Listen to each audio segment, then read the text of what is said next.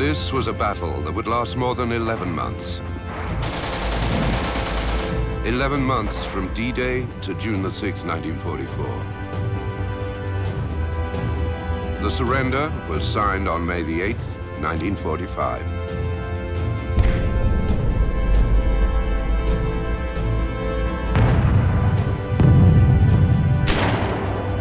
Eleven months of combat, during which the Allied armies, along with thousands of French resistance fighters, battled to liberate the country. Madeleine Riffaud is 90. She was just 19 when she took up arms. Il y en avait marre. Il fallait que le mal cesse, que cesse le racisme, l'antisémitisme, le, manque de liberté. In every liberated town, the scene was the same. The same crowds with a new sense of hope from Cherbourg to Paris, Aix-en-Provence to Orléans.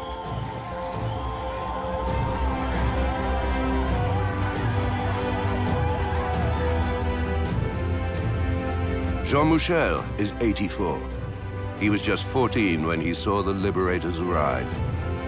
On était dans l'euphorie de l'espoir, de la joie. On avait un monde à refaire, un, un monde à reconstruire. Et je me rappelle, euh, il y avait des, des, slogans partout, on voyait ça, on voyait des images. Retroussons nos manches et ça ira encore mieux.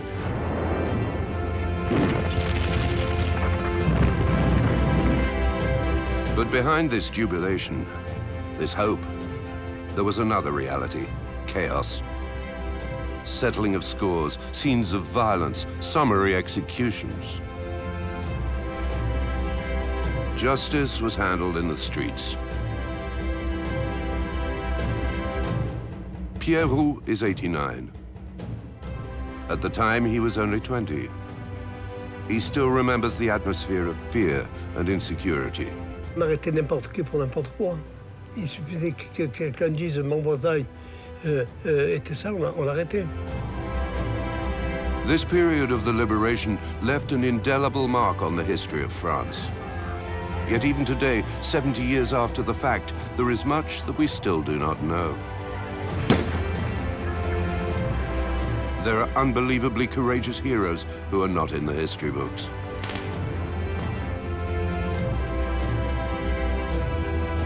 Incredible ploys used to deceive the enemy.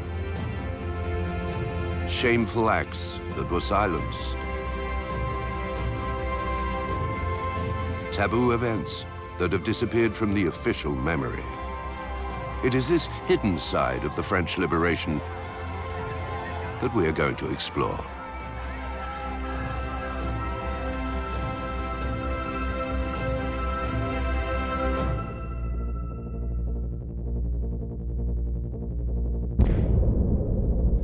People often forget that the liberation of France did not happen on that fateful day of June 6, 1944, with the Allied landings. Even if the more than 150,000 soldiers that day revived the hopes of the French people when they set foot in Normandy.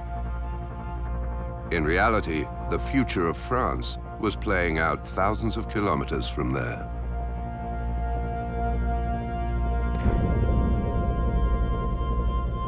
This is Algiers, on the shores of the Mediterranean. Several days earlier, General de Gaulle, head of the Free French Forces, had just created a provisional government. And he fully intended to govern the country after the liberation.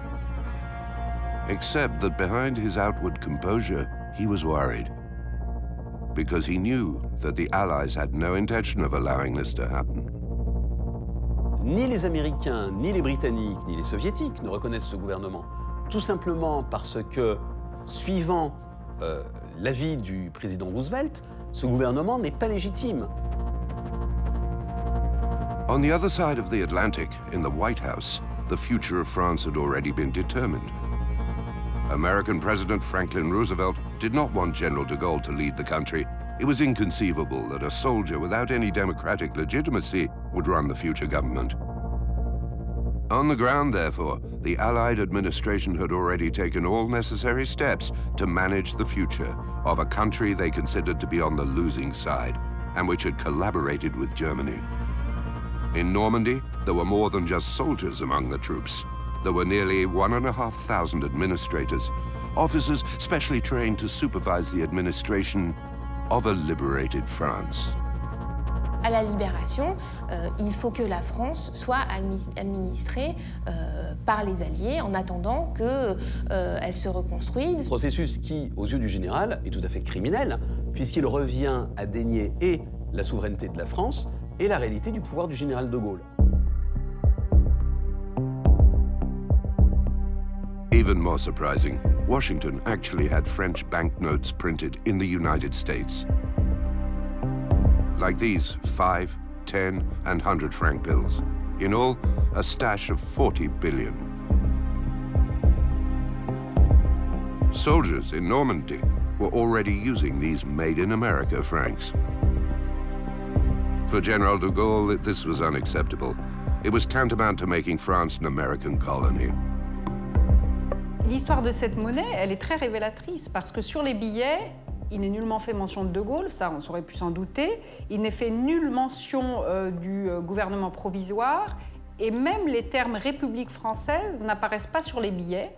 General de Gaulle could only see one way to block the American project, so that a liberated France would be run by his government. The country had to rise up and participate actively in its own liberation. France had to be liberated by the French. A France that was no longer on the side of the losers, but with the winners.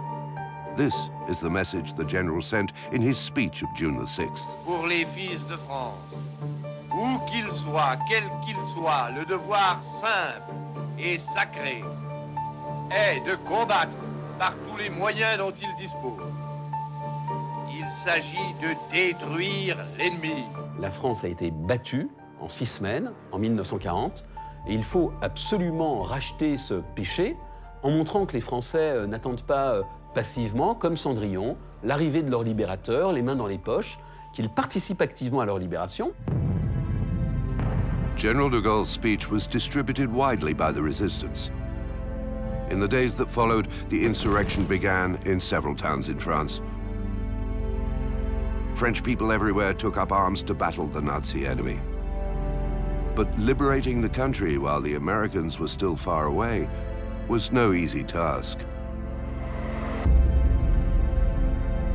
Many of the oldest, most experienced resistance fighters had already been arrested and executed by the Germans.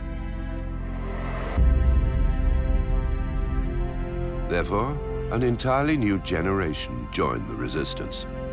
Young French people, some barely 20 years old, who to liberate their country would conduct unbelievably courageous acts, risking their lives.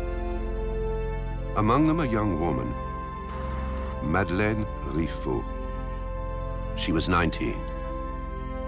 Don't be deceived by appearances. Behind this vision of a polite young woman stood a tough and determined young fighter.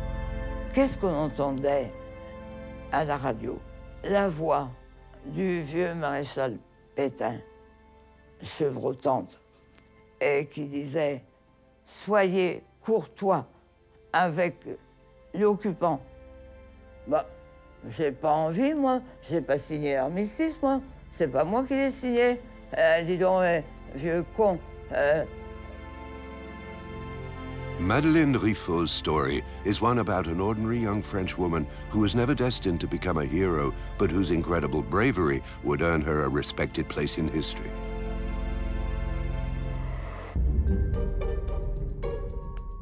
It all started in 1942. Born in a village in Picardy, Madeleine moved to Paris to study medicine at the Sorbonne. She wanted to become a midwife. But without telling her parents, she joined a group of student resistance fighters. As soon as she could, she carried out propaganda missions. She put up posters in the street. She smuggled letters for the resistance. These activities could have cost her her life. But this petite woman soon began to impress her superiors. Les actions relativement légères qu'elle a pu faire, elle les a faites, euh, elle a donné confiance. On voit son, son engagement, euh, sa passion, son, euh, euh, son assurance aussi, et, sa, et sa, son sens de la responsabilité. C'est pas une, c'est pas une faux folle. Madeleine was level-headed. She was rapidly promoted to group leader she commanded four men and took on a code name, Rainer. Elle a suivi une formation militaire hein, euh, au maniement des armes. Euh, elle a, on lui a fait transporter des, du, du, matériel pour, euh, pour saboter. In these rare images, Madeleine appears surrounded by a group of fighters. And when the streets became a battlefield, she was given a new mission. Alerte. Grouillez-vous. Il y a un train qui vient de Ménilmontant par la petite ceinture. Hein? Il est bourré d'Allemands. Yes, a train was on the move. 14 cars filled with rifles, a ton of ammunition, a 100 soldiers. It was an extremely important convoy for the Germans. This train arrived via the Gare de Lyon. It took what was called the small ring. The resistance fighters feared that it was trying to reach the Gare de l'Est, because right near there, on Place de la République, was an enormous military barracks, the German Prince Eugène Barracks. If the reinforcements reached it, a new front would open and take the resistant fighters from behind. In short, if the train got through, there could have been a bloodbath. On arrive là dans la, dans la, la, la folie et la folie carnassière euh, des troupes. Donc il y a un risque, là il y a un risque de, de massacre, de massacre au nord de Paris sur euh, ce qu'il peut y avoir d'embryons de, de barricades. Madeleine only had three people to stop the train. The rest of her group was mobilized to fight in the streets. So she gave an order to take all the explosives they had left. And the small group headed to the Buttes-Chaumont Park, because that's where Madeleine wanted to intercept the train. On file en voiture avec nos armes, et quand on arrive sur le pont des Buttes-Chaumont, ben, on voit déjà le train. The military convoy had stopped just inside the tunnel. All around, soldiers were inspecting the tracks, making sure everything was clear. Hidden in the trees, Madeleine and her men were covered. But there were only four of them, against a hundred Germans. The train could have started up at any time. It had to be stopped at all costs. So Madeleine immediately decided to use everything she had at hand. Alors, euh, on commence à déballer nos, euh, notre camelote et on jette nos explosifs sur la locomotive. Donc, je balance euh, tout ce qu'il y a balancé. Ça fait une énorme explosion qu'on n'avait pas prévue, je dois dire. Euh, on avait jeté vraiment beaucoup. The resistance fighters lobbed grenade after grenade. Convinced they were facing a small army, the Germans got scared and retreated into the tunnel. Madeleine then decided to go for broke. With her three comrades, she dropped down onto the tracks and threw all the smoke bombs they had left inside to asphyxiate the enemy. The soldiers had no choice but to stop fighting. Several minutes later, a photographer captured this scene of the German soldiers caught by a handful of resistance fighters. Ils se sont rendus, les pattes en l'air, et puis ils sont rendus tranquillement, et c'était 80. By stopping the train, the young woman prevented the German counterattack and provided the resistance fighters with weapons that would be extremely useful in the days to come. This was August 23, 1944, and coincidentally also the day of her 20th birthday. In the thick of the battle, Madeleine Riffaud had forgotten all about it. On the Champs-Élysées, August the 26, 1944, France erupted in joy. General de Gaulle was cheered by a crowd that hadn't been seen here for more than four years. And at the Hotel de Ville, he gave a speech that would go down in history. Paris, Paris outragé, Paris brisé, Paris martyrisé, mais Paris libéré. But above all, he sent a crucial message to the world. The French recaptured their capital by themselves. Libéré par lui-même, libérée par son peuple avec le concours des armées de la France, avec l'appui et le concours de la France tout entière. The general knew that he was close to achieving his goal. And his provisional government, which the Americans had not wanted, finally received official recognition from the entire Allied camp.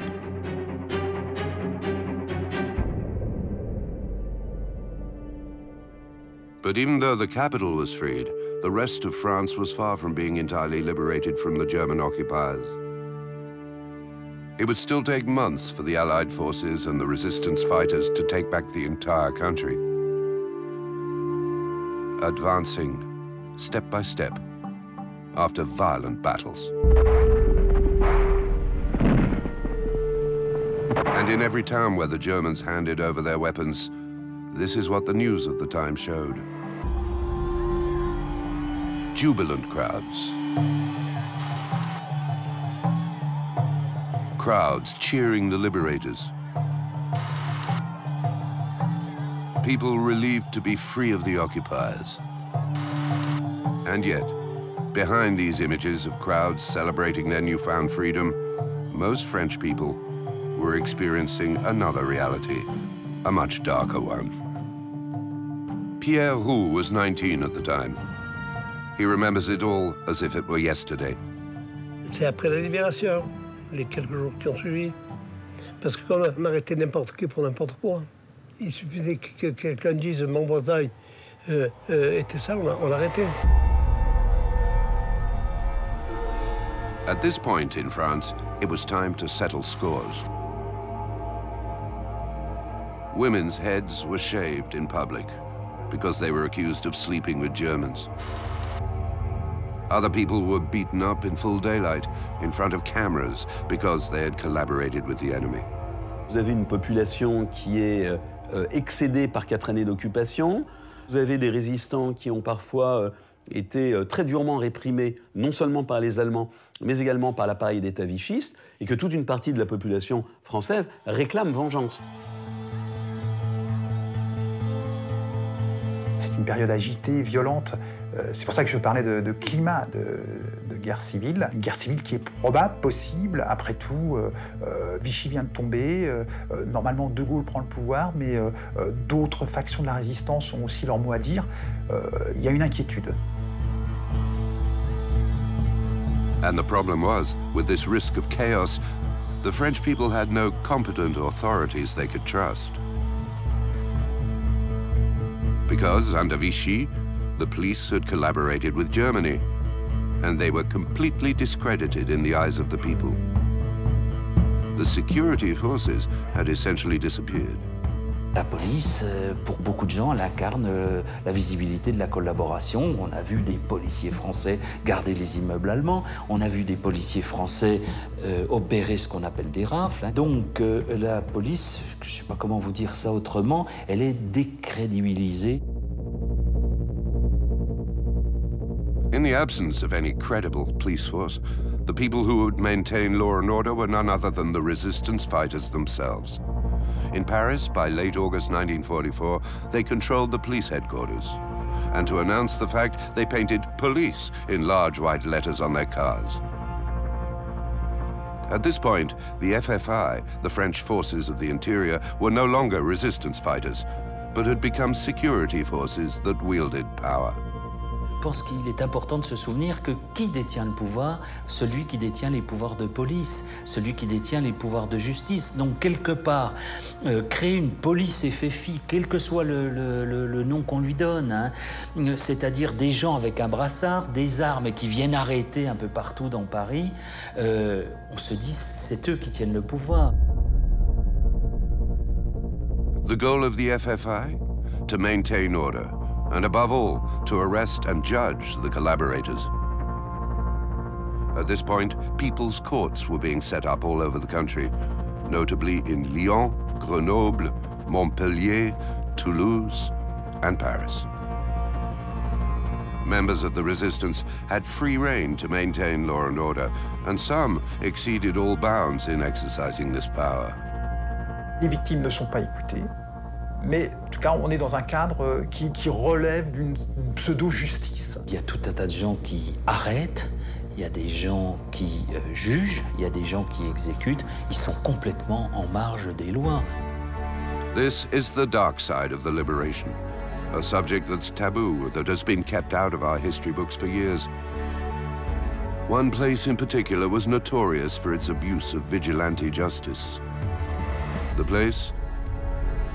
The Institut Dentaire in Paris, an enormous brick building in the 13th arrondissement of the French capital. On August 20th, 1944, members of the resistance requisitioned the Institute to create a court of sorts. The amphitheater was transformed into a collective internment room. All those in the Paris region arrested for collaboration with the German occupiers during the war were judged, then imprisoned at the Institut Dentaire. Residents who had denounced their Jewish neighbors,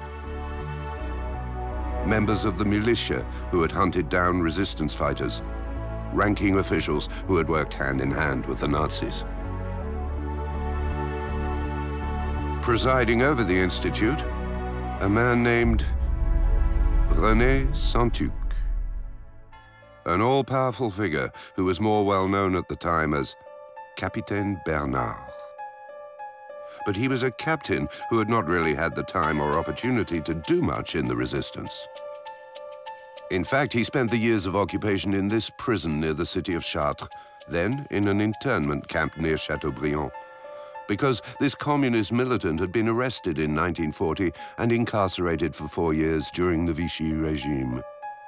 He managed to escape only a few months before the liberation to join the communist resistance. Very quickly, he was given the mission of leading the court at the Institut Dentaire in Paris. And with him, a dozen other resistance members, all following his orders. Ils ont tous cette vision d'un type d'une froideur extrême, hein, qui de temps en temps a, a, quand même des moments, des accès de fureur, et de quelqu'un d'extrêmement de, dur, hein, bien sûr, et sans pitié, impitoyable, hein, au sens propre. Et comme euh, c'est la mission de justement d'épurer, de, de, de, tuer les, les, les ennemis euh, de la résistance et du Parti communiste est une mission prioritaire, il va, il va, il va euh, remplir sa mission.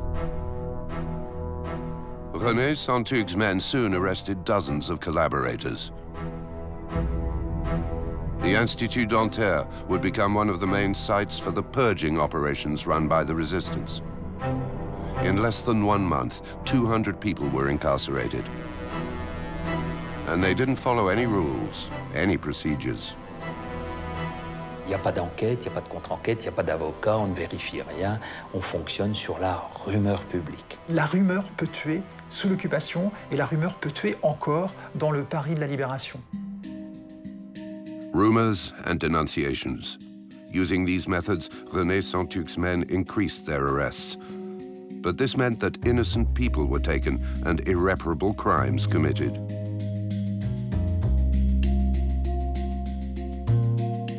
For example, we searched through the archives of the Paris police headquarters located in the suburbs. It is an enormous warehouse with shelves storing hundreds of thousands of documents. Every crime, large and small, committed in Paris in the last 150 years is recorded here. Among the boxes, a blue file, number 77W924, dated March the 20th, 1946. A file that contains revealing information about the Institut Dentaire. Inside, a police investigation conducted after the war examines the circumstances of a woman's death. A certain Madame Goa. According to this report, Madeleine Goa, who had no record whatsoever, was found dead on August 29, 1944. The document includes the information that the body was riddled with bullets. The police report concluded with these words. She was apparently arrested and shot by mistake by the FFI at the Institut Dentaire. But how and why was an innocent person executed? Je crois que c'est l'exemple le plus abouti. Il y en a des centaines d'autres, hein, mais c'est un des exemples les plus aboutis, les plus tragiques de cette situation, qui est celle aussi de la libération. This dramatic story started on August the 25th, 1944. On that day, the troops of General Leclerc's 2nd Armored Division entered Paris to liberate the capital. But the battle was still raging in the streets, far from the crowds cheering the French and Allied soldiers along the main avenues of Paris. Tensions remained high, particularly on the left bank along Avenue d'Italie. Just a few days earlier, die-hard partisans of Nazi Germany were shooting from the rooftops. While the tanks of the 2nd Armored Division were rolling down the avenue, hundreds of Parisians were still fearful of those isolated snipers. Among them, a couple, Max and Madeleine Goa, who were watching the troops from their balcony through a telescope. The problem, however, was that from a distance, a telescope looks like the barrel of a rifle. Et quelqu'un, euh, la phobie, vous savez, c'était incroyable folie à l'époque des tireurs des toits tout le monde se met à tirer dans toutes les directions, euh, les désigne comme étant des tireurs des toits. La foule s'engouffre dans l'escalier, euh, force les portes, euh, lynche à moitié les goa, pille l'appartement en passant d'ailleurs, où on évidemment ne trouve ni, ni fusil ni rien. It was a misunderstanding. But no one would listen to Madeleine or her husband. The couple was dragged into the street while the 2nd Armored Division continued to roll along in the middle of the crowds. And that's when tragedy struck. Et euh, Max Goa, euh, auquel la foule fait déjà un très mauvais sort, est jeté sous les chenilles d'un char Sherman de la deuxième DB. Max Goa died instantly.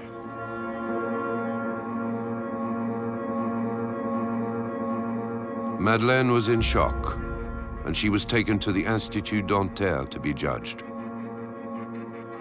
When she arrived, the courtroom was full. Dozens of prisoners were waiting to be heard in René Santuc's People's Court. Among the prisoners, a former deputy appointed to the Vichy National Council.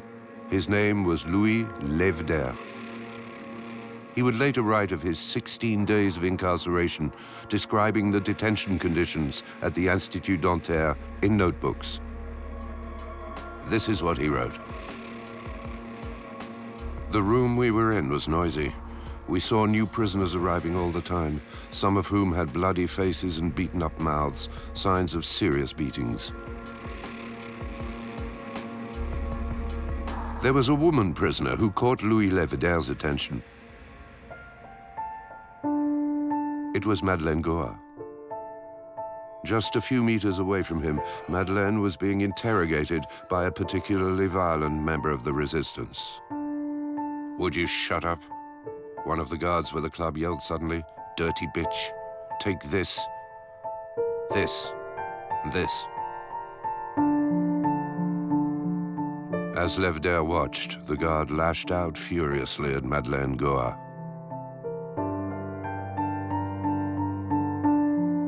The woman put her arm over her head, bent over. Under the barrage of blows from the club, I felt sick. Madeleine endured this brutal treatment for four days, constantly maintaining her innocence. But for her jailers, she was guilty. And the verdict came on August 29, 1944.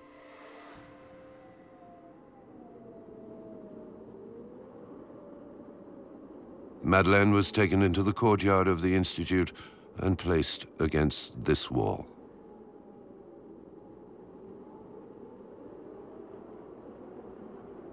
Once again, Louis Levder witnessed the scene.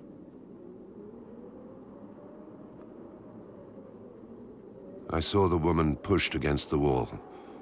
I saw them blindfold her. I saw her stick her tongue out at her executioners I saw them stand in front of her, rifles on their shoulders. I couldn't watch what happened next. I heard the shots.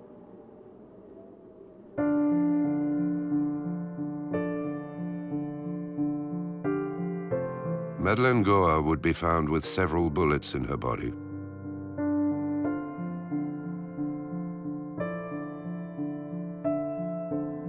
According to the official police report drawn up two years later, Madeleine and her husband were completely innocent.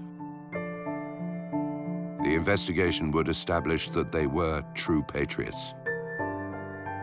They provided help to resistance fighters and Jews sought by the police during the occupation. The tragic story of Madeleine Goa and her husband is not the only case of abuse committed by the people's courts set up by the resistance. During the liberation, hundreds of French people throughout the entire country suffered from this vigilante justice. This murderous purge was impossible to control.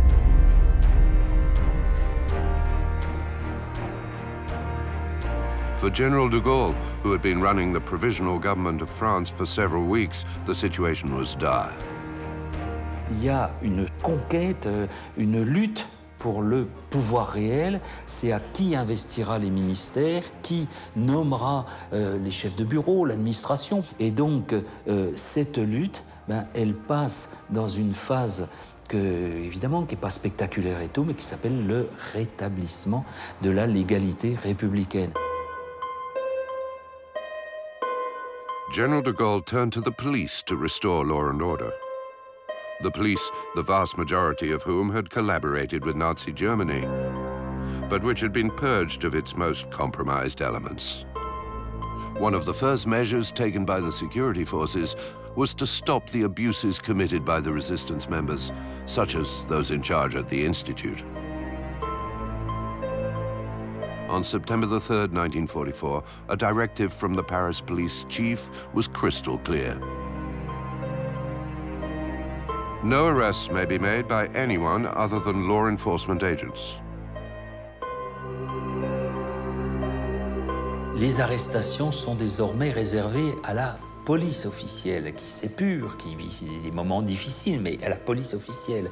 Euh, on ne peut plus retenir des gens prisonniers, les séquestrer. On ne peut évidemment ni les torturer ni les exécuter. All of the people's courts, therefore, had to be disbanded. But this was far from the reality. Some die-hard groups had no intention of obeying the law. One such case was René Santuc. But why? According to historians, he was a member of the Communist Party, and certain of its leaders did not trust the justice re-established by General de Gaulle, a justice they felt no longer belonged to the people. Le Parti communiste considère De Gaulle comme euh, euh, quelqu'un dont il faut se méfier, quelqu'un qui est un représentant euh, de la haute bourgeoisie. Peut-être que eh bien, les vrais coupables, aux yeux des communistes, ne seront pas sanctionnés. Par contre, le tribunal populaire ne fera pas de cadeau. As a result, René Santuc transferred only some of his prisoners to the police, but refused to turn over all of them. At that moment, he became an outlaw. And all those who had maintained any connections whatsoever with the Germans during the war were enemies to be killed. Every suspect was therefore guilty. In all, in the space of three weeks, 40 people were executed at the Institut Dentaire.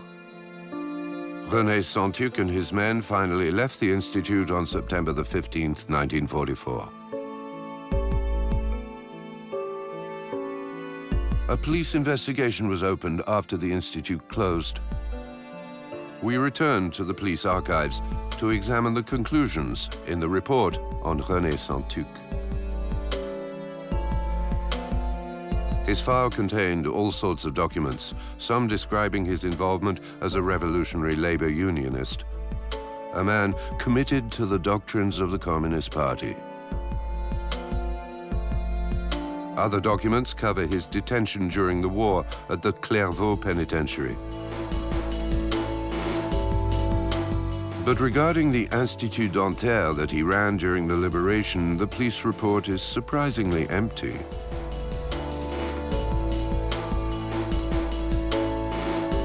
Were the police simply uninterested? Had he been protected?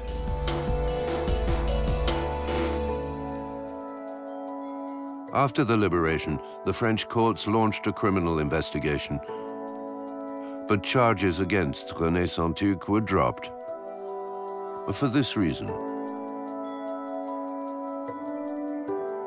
The public prosecutor did not provide proof that the crimes for which René Santuc was charged were entirely separate from the resistance effort and liberation of the national territory. As a result, the charges are dropped in this case. Paris Court of Appeal, July 7, 1955. René Santuc was therefore never prosecuted.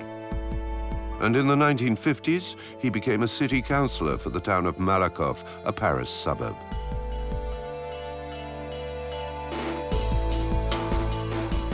Today, the Institut Dentaire is a health center run by the city of Paris.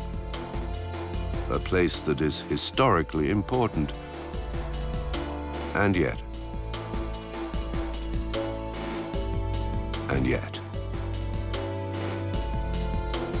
Nowhere on the premises is there any indication of the 40 people who were executed during the liberation between August the 20th and September the 15th, 1944, by members of the resistance.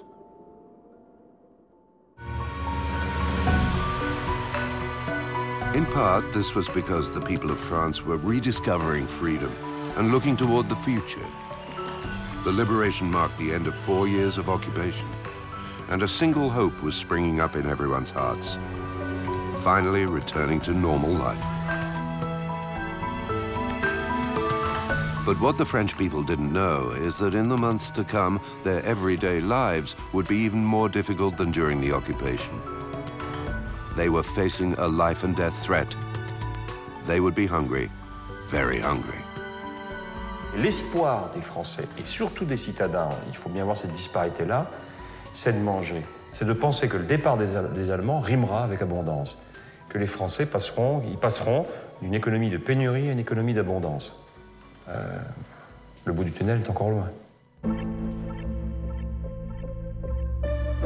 Some of the situations the French knew all too well from the occupation.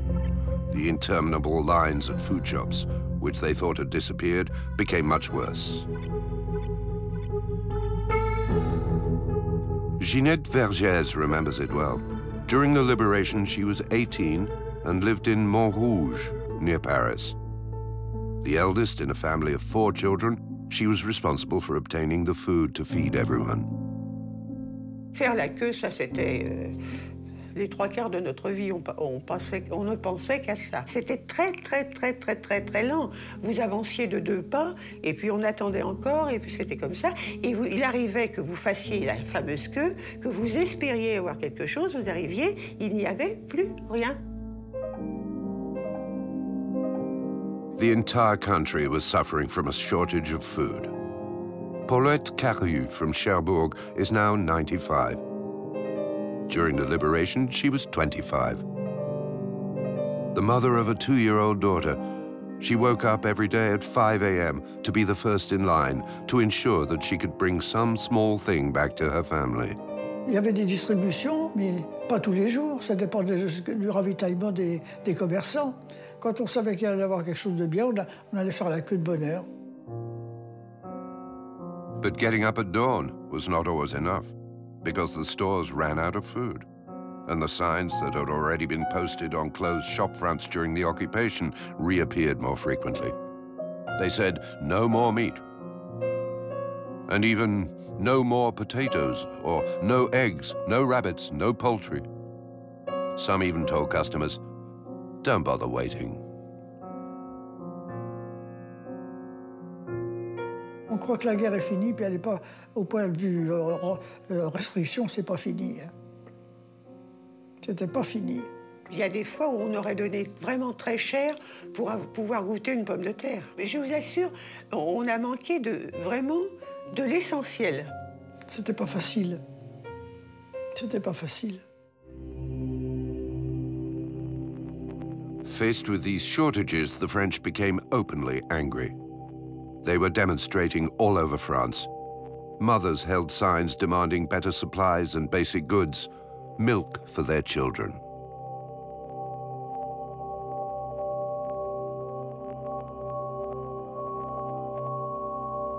In large cities, residents started to organize for food supplies. In Paris, for example, the gardens of large public buildings were transformed into giant vegetable plots. Like this one at the Invalides, opposite the Grand Palais. And even in the official residence of the head of government at Matignon. Loss had to be kept to an absolute minimum, so people planted hardy vegetables. Rutabagas, Jerusalem artichokes, potatoes, which are all very filling. And for all the products they needed so badly in their everyday lives, the French became incredibly resourceful. To make fake coffee, for example, they used the same recipe as during the occupation. They roasted barley, ground it up in a mill, added boiling water, and that was it. But Ginette, a Parisian, would have been happy to forget the taste of this fake coffee that she so detested during the war. C'était mauvais. Ça avait été grillé, ça vous est un jus marron, point barre. La seule chose que ça apportait, c'était un peu de chaleur, parce que vous buviez chaud. The French may have been inventive, but it wasn't enough. To feed themselves properly, more and more people turned to alternative systems, particularly the black market, as during the occupation. From the sale of goods under the table to ultra-organized networks, these parallel markets skyrocketed during the liberation, and gangs even appeared. Virtually every shopkeeper turned to these illegal markets to obtain supplies every day. This traffic in food was not limited to shopkeepers each working individually. It included large, highly organized rackets that made fortunes. Illegal markets that were supplied by accomplices who were supposedly above all suspicion. American soldiers, the GIs. While the French were starving, the American soldiers had all the food they wanted. They even had plenty to spare. The American Army was supplying four to 5,000 calories per day for each soldier, an enormous amount compared to the 900 calories of Parisians.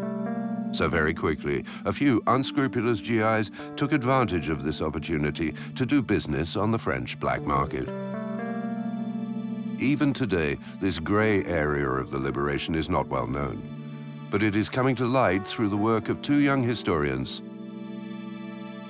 Arthur Mema and Noémie Fossé. En 1945, donc, les affaires qui ont été démantelées, j'ai répertorié plus de 450 affaires. C'est quand même énorme. On parle de plusieurs millions de dollars de marchandises à l'échelle de la guerre. News of this disturbing situation reached the United States. The press picked up the subject in 1945. The Yank, a magazine for American soldiers, made it the cover story in May of 45. With the headline, The Lowdown on the GI Racketeers in Paris.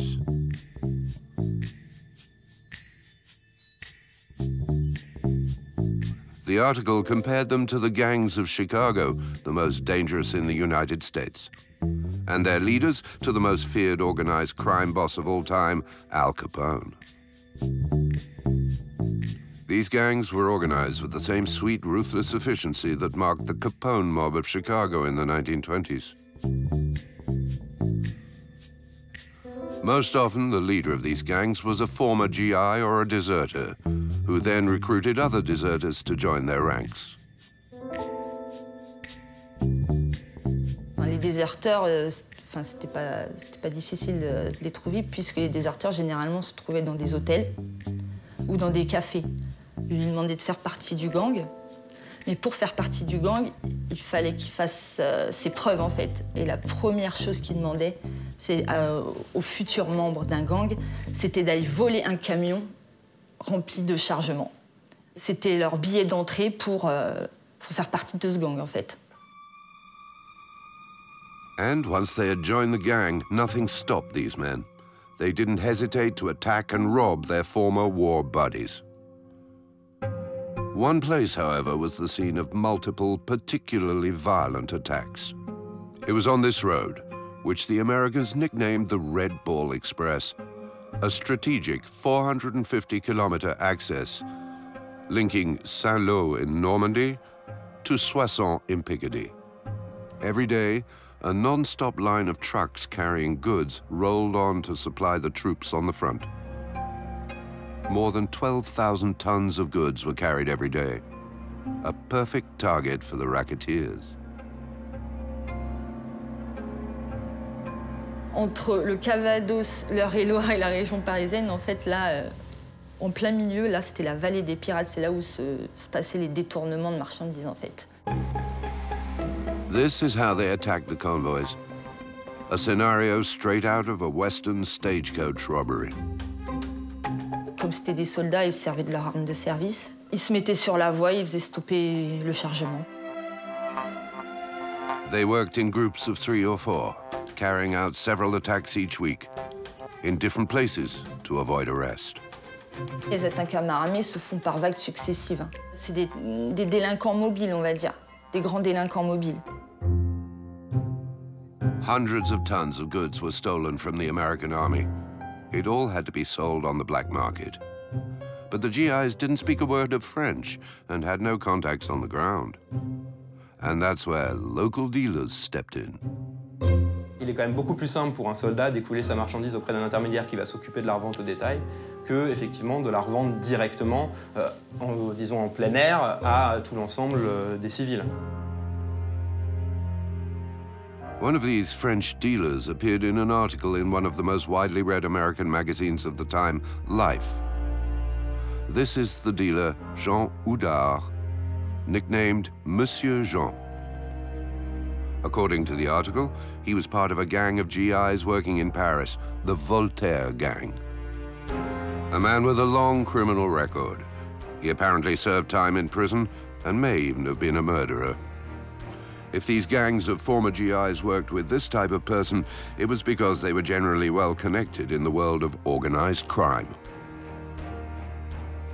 Ce genre de personne euh, n'a pas commencé sa carrière euh, d'un coup quand les Américains sont arrivés. Il faut quand même une certaine forme d'organisation et de connaissance euh, de façon de procéder. The job of these middlemen was to sell the goods to wholesalers on the black market. And it was crucial to sell them as quickly as possible, because these trucks full of boxes and crates hidden in warehouses could quickly attract the attention of the authorities. So they slashed their prices, up to two to three times cheaper than other fences on the black market. For example, one kilo of sugar sold for an average of 200 francs on the French black market, but sugar stolen from the American army costs 70 francs at most. C'est vraiment une bonne technique commerciale, quoi. Je pense parce que déjà, euh, ce qu'ils volaient, c'était... Bah, ils volaient ça, ils volaient, donc c'était gratuit. C'était que du bénéfice pour eux de vendre cela, de vendre tout ce qu'ils volaient. This underground market earned a great deal of money for the gangs of former GIs and their middlemen. The American press at the time mentioned colossal sums. In three months, one of the largest crime rings earned nearly one million francs. Stories that tarnished the image of the entire American army.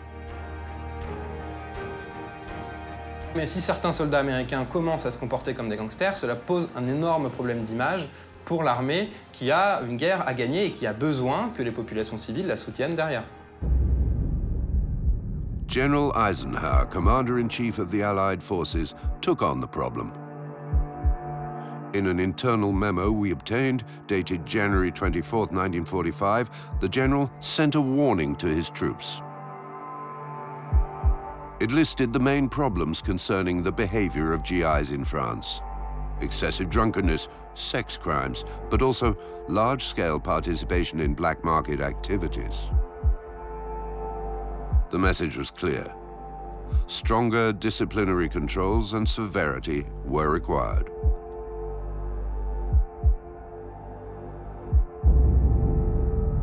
On the ground, the response was rapid.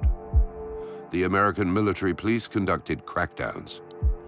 It carried out waves of arrests, notably one very large sweep. 177 soldiers received exemplary sentences of 50 years in prison. These were severe sanctions, but they had a limited impact. Parallel markets flourished long after France was liberated. And the population had to wait four years until 1949 before the rationing system would end. The end of the Nazi occupation did not coincide with a return to everyday life, and that's where the entire history of the liberation lies. It was a crucial period during which the fate of the country was played out. A period of joy and chaos, during which the French took up arms against the enemy, but also against each other. But it was a period dominated by a single goal to retake control of the country's destiny and become free again.